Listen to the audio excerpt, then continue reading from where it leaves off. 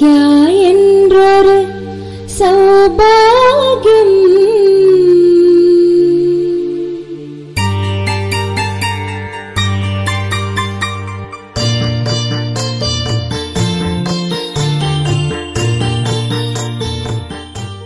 ஐயா அதுதான் முதல் கேள்விங்க ஐயா. எனக்கு உங்களுக்கு எனக்கு கூட நீங்கள் நான் முதல் முதல் வீடியோ பார்க்கும்பொழுது நீங்கள் ஆழ்வுக்கம் தான் ரெஃபரன்ஸ் பண்ணி ரெஃபரன்ஸ் பண்ணீங்க. அங்கேயே தெரிஞ்சோ தெரியாமலோ ஏதோ உள்ளுக்குள்ளே இங்கே தான் இருக்குது அப்படின்னு பிடிச்சிக்கிச்சு அது.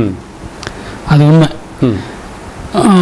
உங்களுக்கு வந்து நீங்கள் அதை அனுபவிச்சு அனுபூதி அது ஏதோ ஐயே அதுதான் ஊர்ஜிதமாக உங்களுக்கு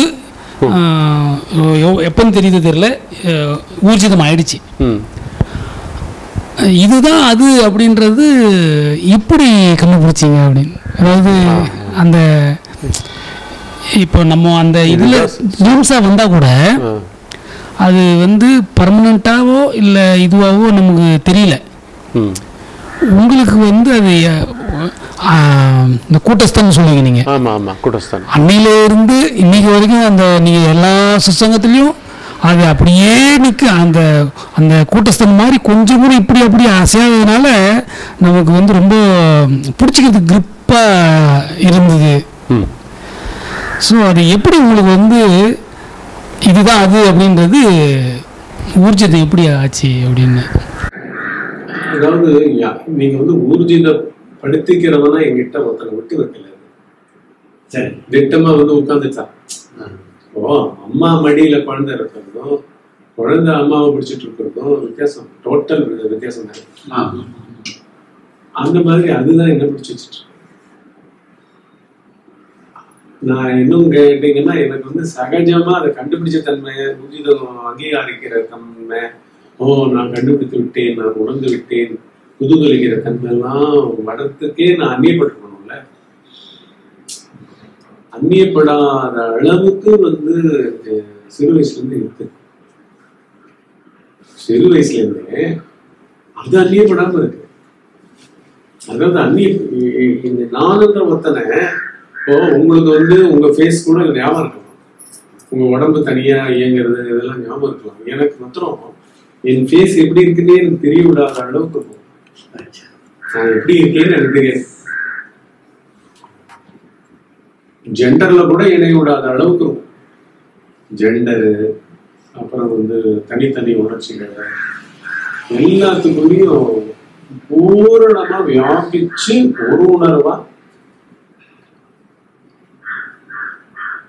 அதனால வந்து எனக்கு வந்து பிரிஞ்சாதான் அந்த பெர்ஸ்பெக்டிவ் வரும். அங்கே இருந்து பார்க்குற பெர்ஸ்பெக்டிவ் கரெக்டா நான் வெளிப்படணும் இல்ல வெளிப்படுறதுக்கு முன்னாடியே அங்கேயே இருந்துட்டே வாழ்வே நடக்குதுன்னா நீங்க வந்து அது வாழ்வுன்னு வேற பேரு. அதுல எனக்கு தெரிய வந்தது என்னன்னா இப்போ அதாவது இந்த பேச ஆரம்பிச்சு எல்லாரும் வந்து இததான் உயிரா தவிக்கிறாங்க இது ஒண்ணுத்துக்கு தான் அவங்க வந்து ஜென்மங்களை கரைக்கிறதுக்கு எல்லாத்தையும் தூக்கத்துக்கு தயாரா இருக்காங்க. தங்களையே அர்ப்பணிச்சு அடையத்துக்கு அப்படின்னு தெரியும் பொழுது இன்னும் கருணை வருதுனால என்ன அந்த பக்கமாவே அழிச்சுன்னு எங்க உட்காந்தாலும் ஆபீஸ்ல வேலை பண்ணியிருந்தாலும் சரி பஸ்ல டிராவல் பண்ணியிருந்தாலும் சரி குடும்பத்துல உறவுகளோட இருந்தாலும் சரி அவங்கள கூட இப்படிதான் பார்க்கறேன் தம்பி அக்கா எல்லாம் எல்லாரும் மாமா பசங்க பதினஞ்சு பேரம் பேத்திக்கிறேன் தாத்தா அம்மா சேர்த்து அந்த சைடும் அதே இந்த சைடு தான் தான். இருந்தாலும் எனக்கு வந்து வித்தியாசமா தெரியாது. ஆனா வந்து அவங்க எல்லாரும் அப்படி ஃபீல் பண்ற மாதிரி எனக்கு தெரியல. ஆனா அவங்க சஃபர் பண்றாங்கன்னு எனக்கு தெரியும் ஏன்னா எங்க சஃபரிங் வருதுன்னு பாத்தீங்கன்னா அவங்க அவங்களுக்கு தனியா வந்து அவங்க உடம்புல நானா இருந்து அவங்களுடைய ஆட்டப்பாட்டமா அவங்களுடைய வாழ்க்கை மாதிரி அந்த உடம்பளவா செதுக்கி நடுவுநிலை ஓடிக்கிட்டு இருக்கு அப்படின்னு பொழுதுதான் எனக்கு ரொம்ப துக்கமா இருக்கு. உங்களுக்கே தெரியும் இந்த காலத்துல நான் நாங்க இந்த சின்ன வயசு இந்த ஐயா நாங்க எல்லாம் சின்ன வயசு பார்த்தீங்கன்னா அந்த காலத்துல ரெண்டு படம் போடுவோம் தாம்பரத்துல. ஆமாம் தாம்பரத்துல எங்க மாமா வீடு தாத்தா பாட்டி வீடு. ஸோ வர வரான்னு இருக்கும் ஒரு படத்துக்கெல்லாம் இஷ்டத்துக்கு போயிட்டு வருவார். எங்க மாமா தான் அழிச்சிட்டு வருவார். ஒரு பத்து பேர பசங்க கொஞ்சம் ஓரளவுக்கு மூணு வயசு அஞ்சு வயசு. அஞ்சு வயசுக்கு மேல இருந்தாலும் அழிச்சிட்டு வருவார் அது இதுக்கெல்லாம் கீழே ரெண்டு அங்க போய் அது கொட்டை விடும் தூங்கும் மணல்ல அவரும் தூங்குவார். கிட்டத்தட்ட நாலஞ்சு இன்டர்வல் ரெண்டு ரெண்டு பெரிய பெரிய படமா இருக்கும். ஒன்றும் நெஞ்ச மரத்துலேருந்து என்னமோ நம்பியாரோ இது மட்டும் கதை இன்னொரு வேற என்னமோ ஒரு அலிபாபா நம்ம எல்லாம் கலை கந்தர் குளமா இருக்கும் எதையும் ஒத்து பார்த்தாலும் உள்ள போய் கொடர் முடி கொடுக்கணும் அப்படிலாம் இருந்தா கூட எனக்கு ஒட்டுமொத்தத்தையா அந்த கொட்டாயி அதில் நடந்து போகுது எல்லாம் அந்நியமா நடக்கிற ஒரு நிகழ்வாவே தெரியாது. அந்நியமா ஒரு உலகம் வந்து இயங்கிக்கிட்டு இருக்க மாதிரி என் பெர்ஸ்பெக்டிவ் எனக்கு ஒரு பெர்ஸ்பெக்டிவே இல்லை. அதுல எல்லாம் அட்வான்மெண்ட்ல அப்படி அப்படியே ஒரு சமுத்திரத்துல நீர்க்குமிழிகள் ஒழுங்கு எழுந்து எழுந்து பெறாமல் எழுதுது டக்குனு வடி எழுது டக்குனு வடி அப்படி வந்து உலகத்து சம்பவங்கள் எல்லாம் உலக மனிதர்கள் வாழ்வு எல்லாம். ஆனா அது அவங்கள பொறுத்த வரைக்கும் துக்கம்னு எனக்கு தெரியும். அதுவும் தெரியும். ராத்திரி வந்து நடக்க முடியாம எல்லாம் பேயாட்டம் ஆடிட்டு வரும். கொஞ்சம் தூரம் தான். ஒரு அரை கிலோமீட்டர் போட்டேன் வந்துட்டு படுத்ததுன்னா அடுத்த நாள் பன்னெண்டு ஒரு மணி வரைக்கும் எல்லாம் தூங்கும். ஏன்னா மூணு மணிக்கு நாலு மணிக்கு ஓடுவோம் தூங்கும் காத்தால பன்னெண்டு ஒரு மணிக்கு எல்லாத்தையும் எழுப்பி திருப்பி அவ்வளோ ஒரு அன்பு பாசமா எல்லாம் பண்ணுவாங்க. எனக்கு வந்து அவங்க மேல கருணையம் தாத்தா பாட்டி எல்லாம் தாத்தா பாட்டி எல்லாரும் மாமா எல்லாம் ரோல்ஸா இருப்பாங்க. மொத்த வரவு எல்லாம் ரோல்ஸா இருப்பாங்க. பட் அப்படி இருக்க வேண்டிய அவசியம் இல்லை. அப்படின்றது அப்பவே தெரியுது. திட்டமா தெரியுது. எவ்வளவு பேச ஆரம்பிச்சாலும் குழம்பிக்கிறாங்க கேட்டா. புரியுதா? நான் எப்படி ஆரம்பிக்க நான் இது இல்லைன்னு சொல்லி ஆரம்பிக்கிறேன் இது இல்லைன்றதே நம்பவே மாட்டாங்க நான் வந்து நாட் திஸ் பாடி அப்படின்லாம் நான் பேச முடியும் பேசக்கூடாது. அது வந்து அவனை தெருக்கிட இருக்கும். நீ என்ன பேயா? அப்படின்னுவாங்க அப்படின்னு பிசாசா பூதம் என்ன? உருவம் கடந்தது நீ எப்படி? இது வேணுமே அது நிறைய லாஜிக் இன்னைக்கு கூட பேசுறவங்க இருக்காங்க எல்லாம் பேசுவாங்க ஒரே லாஜிக்கான லாஜிக் பேசுவாங்க எப்படி வந்து உடம்பு இல்லாம உடம்பு ஸோ உடம்புல ஸ்டக்அப் பண்றது தெரியும். அதனாலதான் எனக்கு இந்த ஒவ்வொரு நுணுக்கமாக அவங்கவுங்க போக்குலயே யார் ஓப்பன் ஆகிறாங்களோ ஓப்பன் ஆகணும்னு சொல்லிட்டு நான் மாட்டுக்கு அவங்களுடைய சம்பவங்களோட சொன்னாதான் அவங்கவுங்க அவங்கவுங்க சொல்யூஷன் வேணும். அப்புறம் நான் சொன்ன நேரம் உணர்ச்சிக்கு தான் அவங்கவுங்க உணர்ச்சி வசப்படுறாங்க. அதுதான் வாழ்க்கையா வச்சுட்டு இருக்காங்க இந்த நிமிஷம் கஷ்டம் இந்த நிமிஷம் வறுமை இந்த நிமிஷம் நோய் இந்த நிமிஷம் வந்து வீடு கட்ட முடியல பணம் கிடைக்கல அது கிடைக்கல இது கிடைக்கல சரியில்லை கை தெரியல ஒண்ணு என்னவோ. அப்புறம் வந்து என்னைய போட்டு கம்பேர் பண்ணிப்பாங்க. இவனுக்கு என்ன குழந்தையா குட்டியா? எல்லாம் போடுவாங்க ஏன்னா அது- அதுலதான் ஆரம்பிக்குதுன்னு தெரியாது. எதுல அவங்க உடம்பா இருக்கிறதுலதான் வந்து என்ன ப்ரொஜெக்ட் பண்ணிக்கிட்டாங்கன்னா அவங்க என்ன காம்ப்ளிகேட் பண்ணிக்கிறாங்கன்னு எனக்கு தெரியும். என்ன வந்து உடம்பா ப்ரொஜெக்ட் பண்ணிக்கிட்டாங்கன்னா சம வயதுக்காரனா நண்பர்கள் ப்ரொஜெக்ட் பண்ணிக்கிட்டாங்கன்னா உறவுக்காரனா உறவுல ப்ரொஜெக்ட் பண்ணிக்கிறாங்க அவங்களுக்கு இன்னும் காம்ப்ளிகேஷன் நான் ஈஸியா கொடுக்கறது வந்து பெரிய வழி கொடுப்போம். நான் கொடுக்கறது வந்து என்ன நீ வந்து just like that interstellar travel பண்ணலாம். நான் அப்படி சொல்றேன். கேலக்சிஸை கடக்கலாம். அப்படின்றது எனக்கு தெரியும். ஏன்னா அவ்வளவுதான். அது அதை விட ஈஸியானது ஒண்ணுமே இல்லைங்க. அது ஒரு சாதகம் கூட கிடையாது சாதகனே கிடையாது. சாதகனை நம்பக்கூடாது. அதனாலதான் எது எழுந்தாலும் வந்து நம்மளுக்கு நீங்களே கடல் மாதிரி ஆக்கிக்கணும். அந்த கடலுக்கு அந்நியமா ஒரு நீர்த்துளிக்கு இருப்பு கிடையாது. ஒரு நுரைக்கு இருப்பு கிடையாது. ஒரு நீர்க்குமிழிக்கு இருப்பு கிடையாது. அலைக்கு இருப்பு கிடையாது. எதுக்கும் இருப்பு கிடையாது. சகலமும் அதுக்குள்ள அடங்கி அதுவே தான். அப்படி எழுந்தா கூட அதுவே தான். பட் இது வந்து ஞானோதயம். அது ஃபார்ம்லெஸ் சமுத்திரம்லாம் வாட்டர் பாடி.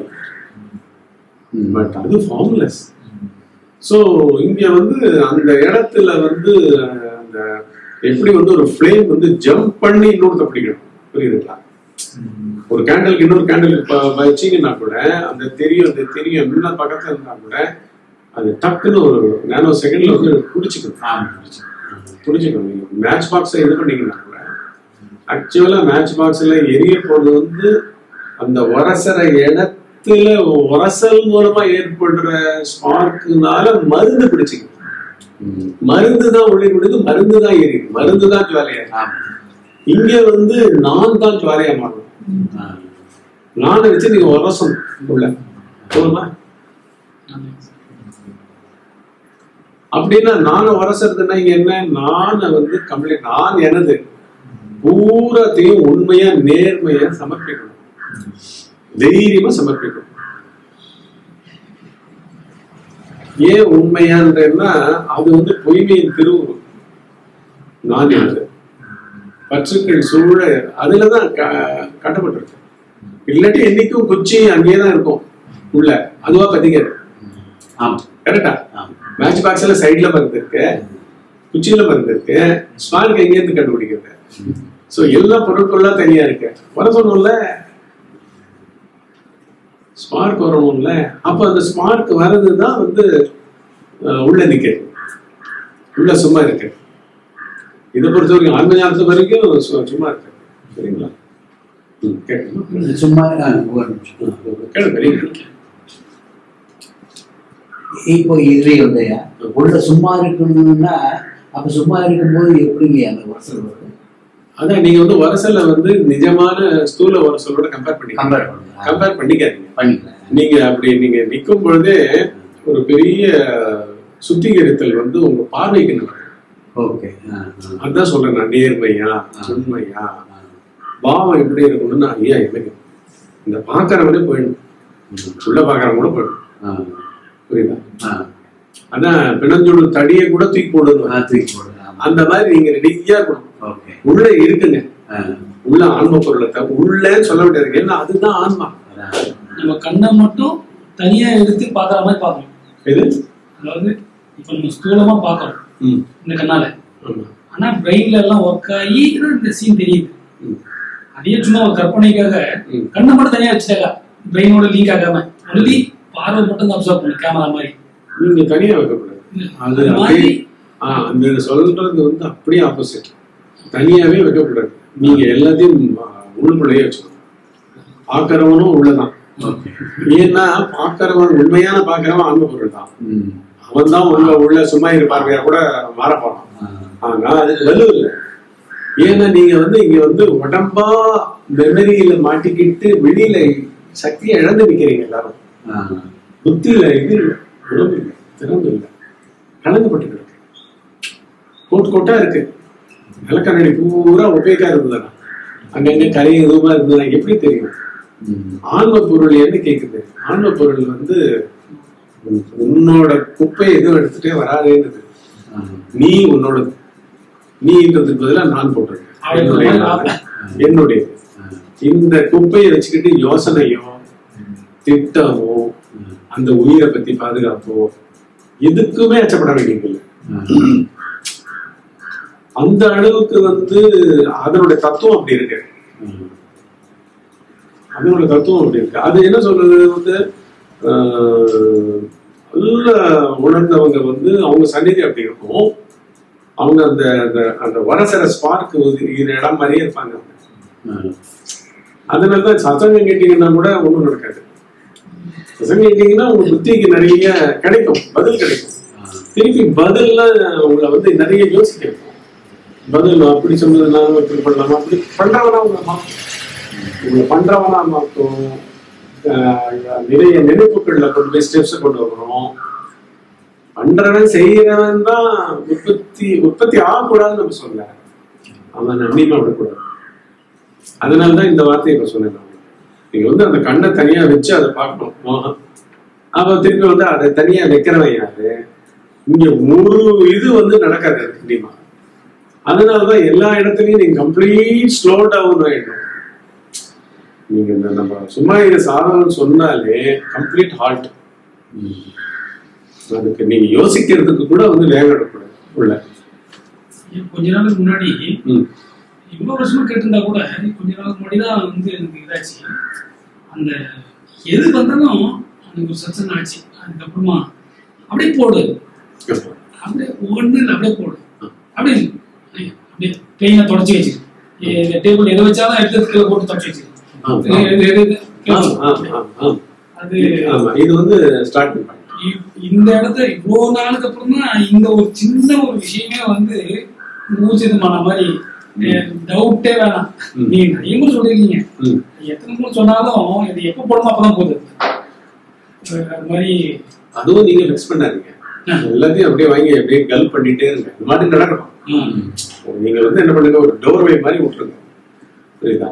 அதுக்கு ஒரு முகூர்த்தம் அப்படி இப்படின்னு எதையும் ஃபிக்ஸ் பண்ணாதீங்க. போவோம். அது பவர் இருக்கு. சந்நிதியினுடைய பவர் அது வர்ணிக்கவே முடியாது. இன்னொன்னுங்க இப்போ இது வந்து ஆஹ், என்ன ஆழ்வக்க மாதிரி ஒரு உணர்வு. அது தவிர வேற எது வந்தாலும் பொய் தான். அப்படின்னு அப்படியே விட்டாக்கா? சும்மா இரு சொல்லற சும்மா இரு அப்படிங்கிறதுக்கு இது ஒரு அர்த்தம் மாதிரி வச்சுக்கிட்டா கூட இதுதான் ஆரம்பமா இல்ல இதுதான் அதுவேவா? இல்ல இல்ல. இப்ப வந்து எப்படின்னா ஆழ்வரக்கம் மாதிரின்றது ஆரம்பம். ஸ்தூல உதாரணம் தூக்கம். ம், ஆன்ம பொருளுக்கு ஸ்தூலமா ஒரு எக்ஸாம்பிள் கொடுக்கணும்னா ஆன்ம பொருள் எப்படி இருக்குன்னு கேட்டீங்கன்னா உங்க தூக்க அனுபவம் எப்படி இருந்தது? ஏன்னா தூக்க அனுபவத்துல நீங்க இன்னும் இருக்கிறதா நம்புறீங்க. என்னுடைய தூக்க அனுபவம்னு வச்சுட்டு இருக்கீங்க சோ அது ஒரு மாதிரி வந்து யோசிக்க கூட ஆரம்பிப்பீங்க. இல்ல. ஞாபகம் இல்ல இருக்கும். அது வந்து இம்ப்ரிண்ட் ஏன்னா சுகம் சுக சுகத்துக்கு அந்நியமா நீங்க இல்லவே இல்லை ஆக்சுவலா சரி சுக சுகம் என்ன பண்ணுது? சுகமயத்துக்குள்ள புத்தி வந்து நிர்மலமா கிடைக்கும் ஆழ்ந்த உலகத்துல நிர்மலமா இருக்கிறதும் ஒண்ணுதான். கலங்கப்பட்டு இருக்கிறதும் ஒண்ணுதான் புரிஞ்சுக்கோங்க சைலண்டா இருக்குது. அதாவது வாசனைகளோட சைலண்டா இருக்கே தவிர அதுக்கு ஏன்னா புத்தி தான் புத்தி தத்துவம் தான் வந்து மனிதனா இயங்குது. உயிரினங்களாவும் அதான் இருக்கு ஆனா உயிரினங்களை ஸ்ட்ரெயிட்டாவே உணர்ச்சி. உணர்ச்சி வந்து அதனுடைய புத்தி தத்துவம் இல்லாட்டி மன தத்துவம் இன்னொரு தத்துவம் சொல்லுங்க ஸோ அதுதான் வந்து சாஃப்ட்வேர் காஸ்மிக் பாயிண்டர் இங்கே வந்து மனிதன் கிட்ட வந்து பியூராவும் இருக்கு. அட் த சேம் டைம் வந்து தான் அனுபவித்த பழைய பதிவுகளோட கலக்கிறதுக்கும் அந்த சைடு பதிவுகளும் வெயிட் பண்ணுது. உங்களுக்கு கேட் நிறைய பேர் கியூல நிக்கிறாங்க. அந்த மாதிரி ஒரு பாஸ் பீரியட் தான் தூக்கும். அது வந்து காரண சரீரத்தை அறியாமைன்னு சொல்றாங்க.